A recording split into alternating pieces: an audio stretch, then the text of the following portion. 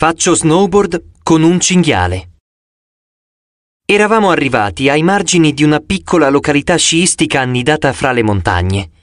Il cartello diceva Benvenuti a Cloudcroft, New Mexico. L'aria era fredda e rarefatta. I tetti delle baite erano coperti di neve che si ammucchiava in sporchi cumuli anche ai lati delle strade.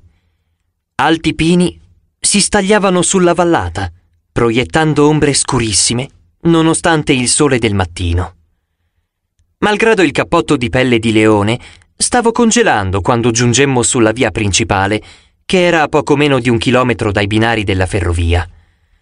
Strada facendo, raccontai a Grover la mia conversazione della sera prima con Apollo e il suo consiglio di andare a cercare Nereo a San Francisco. Grover sembrò a disagio. Bene, ma prima dobbiamo arrivarci. Cercai di non abbattermi troppo pensando a ciò che ci aspettava. Non volevo mandare Grover nel panico, ma sapevo che avevamo anche un'altra grossa scadenza incombente, oltre a dover salvare Artemide in tempo per il Consiglio degli Dei. Il generale aveva detto che avrebbero tenuto in vita Annabeth solo fino al solstizio d'inverno, ovvero fino a venerdì, e mancavano soltanto quattro giorni. Aveva anche accennato a un sacrificio, e la cosa non mi piaceva per niente.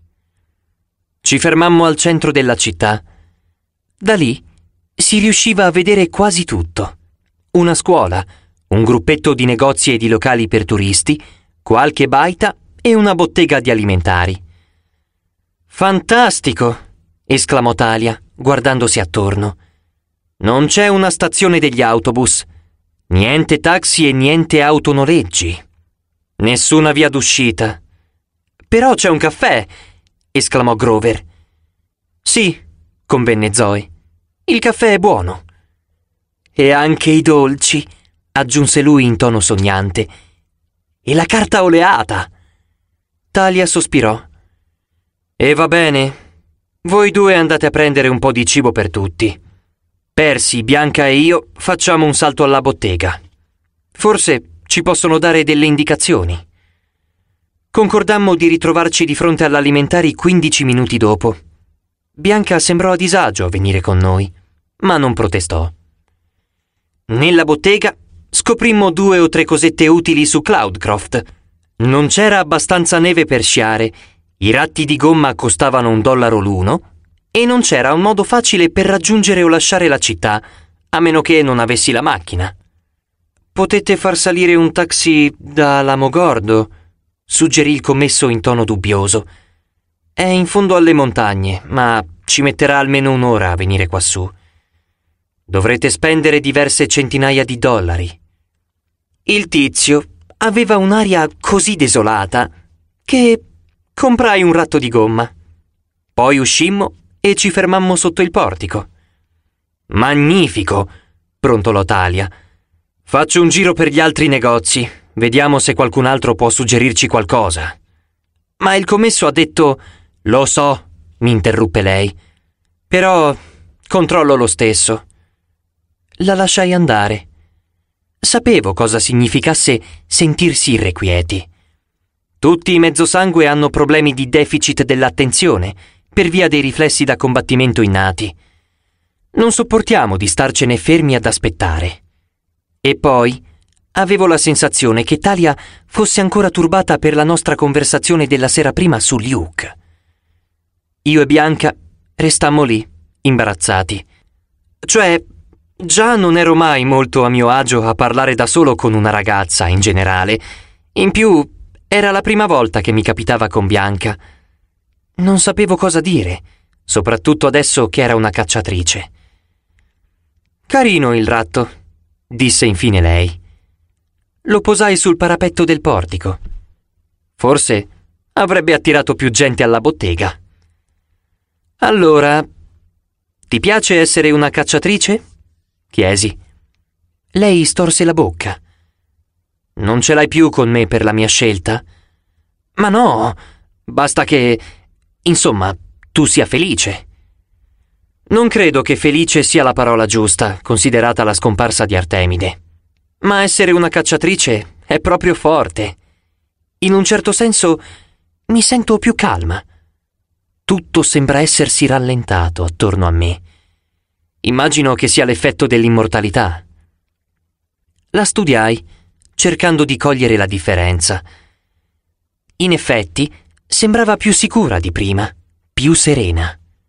Non nascondeva più il viso sotto un berretto verde, teneva i capelli legati all'indietro e mi guardava dritto negli occhi mentre parlava.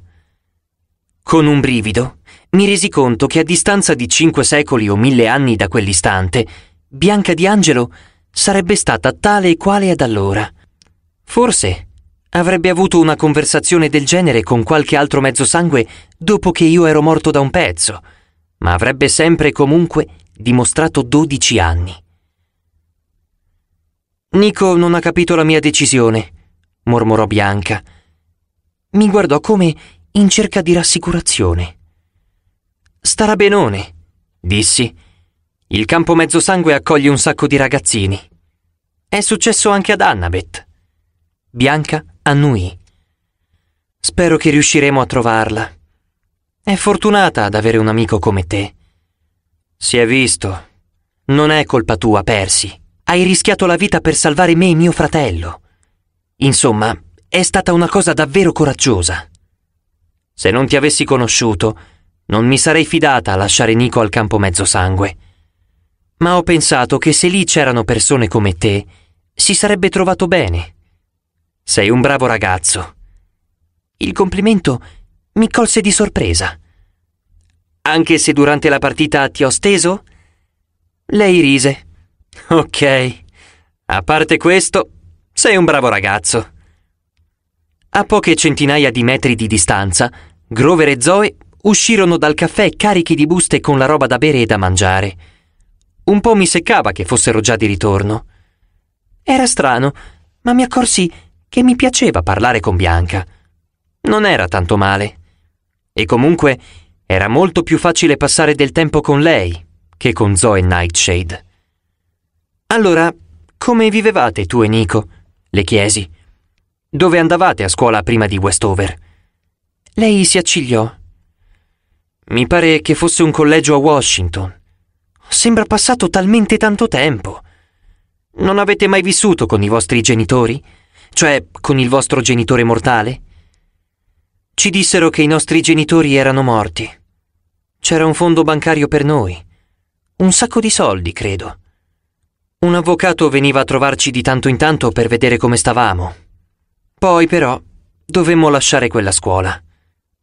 Perché? Aggrottò la fronte. Dovevamo andare da qualche parte. Ricordo che era importante. Facemmo parecchia strada. E restammo in quell'hotel per un po' di settimane. E poi... non lo so. Un giorno venne a prenderci un altro avvocato. Disse che era ora che ce ne andassimo. Ci riportò in macchina sulla costa orientale, prima a Washington, poi nel Maine. E iniziamo a frequentare la Westover. Era una storia strana. Ma del resto, Bianca e Nico erano dei mezzosangue. Niente poteva essere normale per loro.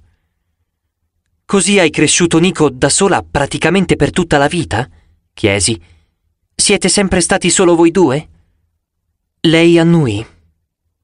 Ecco perché ci tenevo tanto a unirmi alle cacciatrici.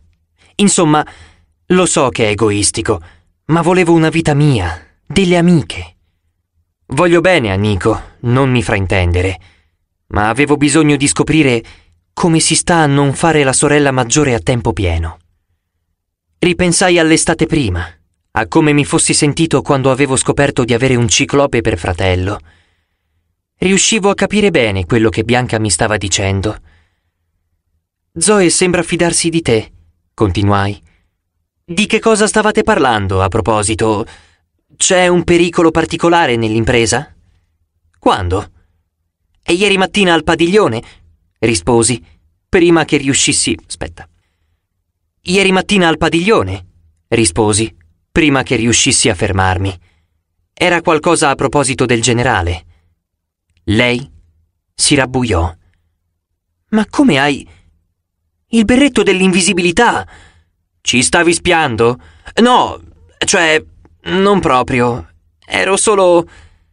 L'arrivo di Zoe Grover con i viveri mi salvò dalle spiegazioni. Cioccolata calda per me e bianca, caffè per loro. Mi diedero un muffin ai mirtilli ed era così buono che quasi non feci fatica a ignorare gli sguardi indignati che Bianca mi stava lanciando. Dovremmo rifare l'incantesimo del battitore, disse Zoe. Grover, ti sono rimaste delle ghiande? Mm, borbottò lui. Stava masticando un muffin integrale, con la carta e tutto. Credo di sì. Devo solo. Si bloccò.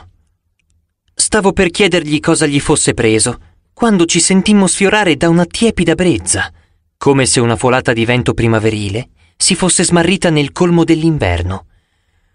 Una corrente d'aria pura, profumata di sole e fiori selvatici.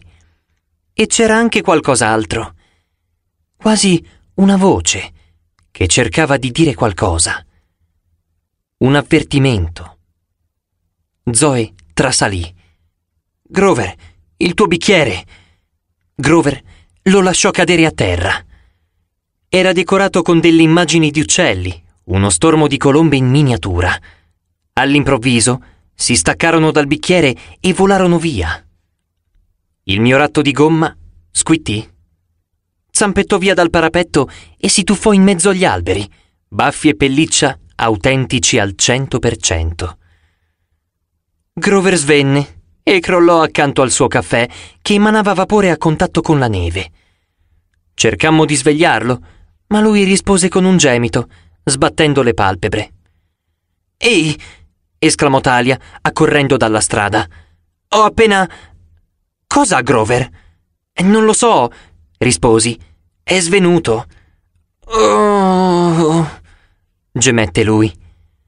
Beh, fatelo alzare, replicò Talia. Aveva la lancia in mano. Si guardò alle spalle come se fosse inseguita. Dobbiamo andarcene di qui. Eravamo ai margini del paese quando comparvero i primi due guerrieri scheletro. Sbucarono dagli alberi ai lati della strada. Al posto della mimetica, adesso indossavano le uniformi blu della polizia del New Mexico, ma avevano comunque la pelle grigia e trasparente e gli occhi gialli. Estrassero le pistole. Lo ammetto, una volta pensavo che sarebbe stato forte imparare a sparare, ma cambiai idea non appena i guerrieri scheletro mi puntarono le pistole contro. Talia attivò il suo braccialetto. L'egida si spalancò, ma i guerrieri non batterono ciglio. Continuarono a fissarmi con i loro occhi gialli e luccicanti. Sguainai vortice, anche se non sapevo a cosa potesse servirmi contro le pistole. Zoe e Bianca attesero gli archi, ma Bianca stava avendo qualche problema con Grover che continuava a svenirle addosso. Ritiriamoci, ordinò Talia. Stavamo per farlo, quando udii frusciare dei rami. Altri due scheletri comparvero sulla strada, alle nostre spalle. Eravamo circondati. Mi chiesi dove fossero gli altri. Allo Smithsonian ne avevo visti dodici. Poi uno degli scheletri si portò un cellulare alla bocca e cominciò a parlare solo che non parlava. Faceva un rumore strano, come un acciottolio di denti secchi sopra un osso.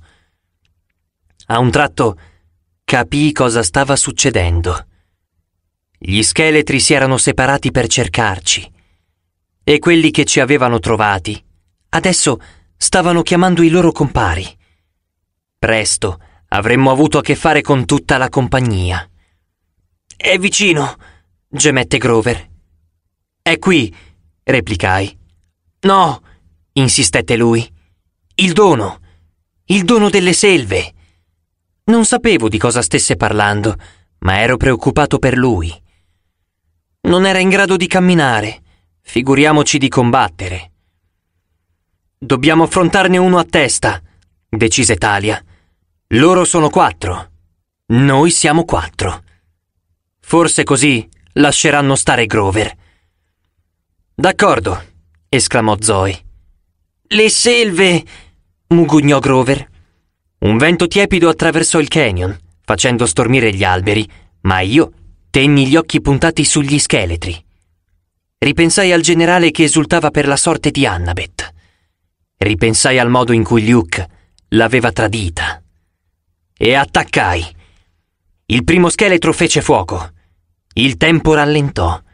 Non è che potessi vedere la pallottola, ma riuscivo a percepire la sua traiettoria, come mi succedeva con le correnti dell'oceano. La deviai con il filo della spada e continuai ad avanzare. Lo scheletro estrasse un manganello e io gli mozzai le braccia, all'altezza dei gomiti. Poi gli affondai vortice nel petto, tagliandolo in due. Le ossa si disfecero, crollarono sull'asfalto e quasi nello stesso istante cominciarono subito a ricomporsi. Il secondo scheletro digrignò i denti, mi prese di mira e cercò di fare fuoco, ma lo disarmai gettando la pistola nella neve. Pensavo che me la stessi cavando piuttosto bene, finché gli altri due non mi spararono alle spalle. Persi! gridò Talia. Caddi bocconi in strada. Poi mi resi conto che non ero morto. L'impatto delle pallottole era stato sordo, come una spinta, ma non mi avevano ferito. La pelliccia del leone Nemeo. Il mio cappotto era antiproiettile. Talia attaccò il secondo scheletro. Zoe e Bianca cominciarono a bersagliare di frecce il terzo e il quarto. Grover se ne stava fermo là, con le braccia tese verso gli alberi, come per abbracciarli. E nella foresta alla nostra sinistra si udì uno schianto come di un bulldozer. Forse i rinforzi degli scheletri stavano arrivando. Mi rialzai e schivai una manganellata. Lo scheletro che avevo. Lo scheletro che avevo tagliato in due si era già ricostituito e ce l'aveva con me. Era impossibile fermarli. Zoe e Bianca miravano alla testa, ma le frecce attraversavano invano i teschi vuoti. Un guerriero si scagliò su Bianca e pensai che fosse spacciata. Poi lei estrasse il pugnale da caccia e glielo conficcò nel petto. Lo scheletro esplose, avvolto dalle fiamme, riducendosi in un mucchietto di cenere e in un distintivo per terra. Come hai fatto? chiese Zoe. Non lo so, rispose Bianca, nervosa. Un colpo di fortuna? Beh, fallo di nuovo. Bianca ci provò, ma i tre scheletri rimasti ormai diffidavano di lei e ci pressavano, tenendoci a distanza con i manganelli. Qualcuno ha un piano? domandai mentre arretravamo. Nessuno rispose. Gli alberi alle spalle degli scheletri stavano tremando. I rami si spezzavano. Un dono, mormorò Grover. E poi con un possente ruggito, il maiale più enorme che avessi mai visto piombò in mezzo alla strada. Era un cinghiale alto quasi dieci metri, con il grugno rosa pieno di moccio e le zanne grosse quanto due canoe. La groppa era ispida di setole marroni e gli occhi erano folli e imbizzarriti. Grugnì e spazzò via gli scheletri con le zanne. La spinta fu così forte che i guerrieri volarono sopra gli alberi e finirono sul fianco della montagna, schiantandosi in una pioggia di omeri, femori e tibie. Poi il maiale si voltò verso di noi. Talia sollevò la lancia, ma Grover strillò Non ucciderlo! Il cinghiale grugnì e pestò le zampe a terra, pronto ad attaccare. Quello è il cinghiale di Rimanto, spiegò Zoe, cercando di restare calma. Non penso che possiamo ucciderlo. È un dono, ripeté Grover. Una benedizione dalle selve. Il cinghiale emise un grugnito e agitò le zanne. Zoe e Bianca si tolsero di mezzo con un tuffo. Io dovetti spintonare Grover per impedirgli di farsi spedire sulla montagna a bordo del cinghiale express. Sicuro, mi sento proprio benedetto, esclamai. Sparpagliamoci! Corremmo tutti in direzioni diverse e per un attimo il cinghiale fu confuso. Vuole ammazzarci! esclamò Talia. Ovvio! replicò Grover. È un animale selvatico. Allora perché dici che è una benedizione? chiese Bianca. A me sembrava una domanda legittima, ma il maiale se la prese e la attaccò. Per fortuna, Bianca era più veloce di quanto mi fossi reso conto. Rotolò sotto gli zoccoli della bestia e rispuntò alle sue spalle, mentre lui polverizzava il cartello Benvenuti a Cloudcroft con le zanne. Mi arrovellai, cercando di ricordare il mito del cinghiale. Ero sicuro che Ercole lo avesse affrontato una volta, ma non riuscivo a ricordare come l'avesse battuto. Avevo il vago ricordo della bestia che radeva al suolo diverse città della Grecia prima che lui riuscisse a sottometterla. Sperai che Cloudcroft fosse assicurata contro gli attacchi dei cinghiali giganti. Continuate a muovervi! gridò Zoe. Lei e Bianca corsero in due direzioni opposte. Grover ballava attorno al cinghiale, suonando il flauto, mentre il mostro sbuffava e cercava di infilzarlo. Ma il primo premio della sfortuna lo vincemmo io e Talia. Quando l'animale si voltò verso di noi, Talia fece l'errore di sollevare l'egida. La vista della testa della medusa fece grugnire la bestia di sdegno. Forse somigliava un po' troppo ai suoi parenti. E ci attaccò. Riuscimmo a mantenere le distanze solo perché correvamo in salita e potevamo schivare gli alberi che per lui invece erano un ostacolo. Dall'altra parte della collina trovai un vecchio tratto di ferrovia, mezzo sepolto nella neve. Di qua! Afferrai Talia per un braccio e ci mettemmo a correre lungo le rotaie, mentre il cinghiale ruggiva alle nostre spalle, inciampando e scivolando di continuo nello sforzo di avanzare sulla salita ripida. Non aveva gli zoccoli adatti, grazie agli dei. Poi, di fronte a noi, vidi un tunnel. E subito dopo c'era un vecchio ponte a traliccio che valicava una gola. Ebbi un'idea folle. Seguimi! Talia rallentò.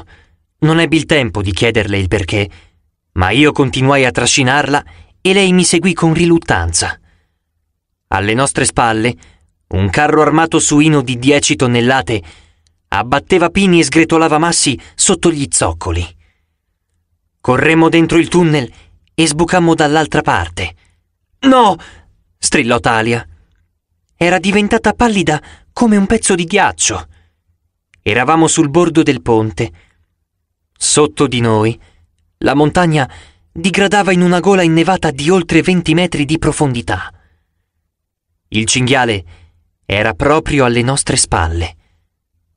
Coraggio! la incitai. Dovrebbe farcela a sostenere il nostro peso. Non posso! gridò lei. Aveva gli occhi folli di paura. Il cinghiale imboccò il tunnel a tutta birra. Ora! gridai a Talia. Lei guardò giù e deglutì. Giuro che stava diventando verde. Non avevo il tempo di chiedermi perché. Il cinghiale stava attraversando il tunnel come un... Ah! Il cinghiale stava attraversando il tunnel come un razzo e puntava dritto verso di noi. Piano B. Abbrancai Talia e mi scaraventai con lei oltre il bordo del ponte, sul fianco della montagna. Scivolammo sull'egida come su uno snowboard, superando rocce, fango e neve alla velocità della luce. Il cinghiale fu meno fortunato non riuscì a sterzare altrettanto in fretta, perciò si ritrovò con tutte e dieci le sue tonnellate sul ponticello, che si incurvò sotto il suo peso. Il mostro piombò in caduta libera nella gola con un possente e acuto grugnito, atterrando su un grosso mucchio di neve con un sonoro puff. Io e Talia frenammo lo scudo. Avevamo il fiato grosso. Io ero ferito e sanguinavo. Talia Aveva degli aghi di pino impigliati fra i capelli. Accanto a noi il cinghiale guaiva e si divincolava. Solo la sommità irsuta della groppa era visibile. Il resto era incastrato nella neve come in una confezione di polistirolo. Non sembrava ferito, ma era comunque bloccato. Guardai Talia. Tu soffri di vertigini. Ora che eravamo sani e salvi ai piedi della montagna, aveva recuperato l'abituale espressione arrabbiata. Non essere stupido. Ecco perché hai dato di matto sul minibus di Apollo. Ed ecco perché poi non hai avuto voglia di parlarne. Lei fece un respiro profondo. Poi si liberò degli aghi fra i capelli. Se lo dici a qualcuno, giuro che... No, no, la rassicurai. Non c'è problema. Solo che... La figlia di Zeus, il signore del cielo, che soffre di vertigini, stava per mollarmi un pugno e scaraventarmi nella neve, quando sopra le nostre teste la voce di Grover chiamò Ci siete? Qua giù! gridai. Qualche minuto dopo, Zoe, Bianca e Grover ci raggiunsero. Restammo lì a guardare il cinghiale che si divincolava nella neve. Una benedizione delle selve! esclamò di nuovo Grover, anche se ora sembrava agitato. Hai ragione, convenne Zoe. Dobbiamo sfruttarla. Fermi tutti! sbottò Talia, seccata. Sembrava ancora reduce da un pessimo scontro con un albero di Natale. Spiegatemi perché siete così sicuri che questo maiale sia una benedizione. Grover le lanciò un'occhiata distratta. È il nostro passaggio per l'Ovest. Ha idea di quanto sia veloce questo cinghiale? Divertente, commentai. Come in un rodeo di maiali? Grover annuì. Dobbiamo salire a bordo. Vorrei. vorrei avere più tempo per guardarmi attorno. Ma ora se n'è andato? Che cosa? Lui non sembrò sentirmi nemmeno. Si avvicinò al cinghiale e saltò sulla sua groppa.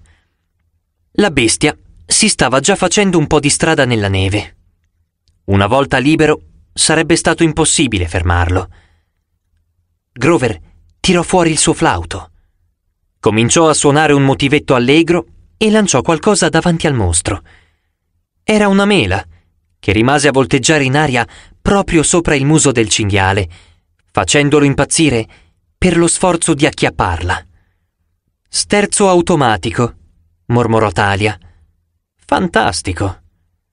Poi si trascinò a fatica fino alla bestia e saltò in groppa dietro a Grover, lasciando spazio in abbondanza per il resto di noi. Zoe e Bianca fecero per imitarla. Aspettate un attimo, protestai. Voi due sapete di cosa sta parlando Grover? Cos'è questa benedizione selvatica? Naturalmente, rispose Zoe. Non l'hai avvertita anche tu nel vento? Era così intenso. Non avrei mai pensato di percepirne di nuovo la presenza. Quale presenza? Mi squadrò come se fossi un idiota. Il Signore delle Selve, naturalmente. Solo per un istante, all'arrivo del cinghiale, ho avvertito la presenza di Pan.